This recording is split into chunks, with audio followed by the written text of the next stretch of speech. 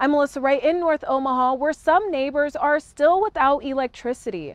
With the scorching temperatures continuing today, the North Star Foundation is offering some relief to the community. Inside the North Star Foundation, a few snacks, bottled water, and AC. 15 year old DeKing Ventry Williams is enjoying the day right here.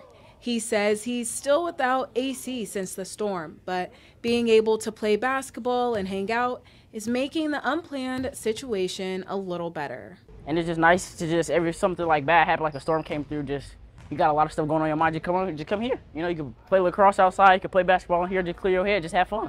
It's just a fun space. The North Star Foundation president tells me over the next few days, they will be posting on social media to keep the community updated on what they're doing for their neighbors in the extreme heat. In North Omaha, I'm Melissa Wright.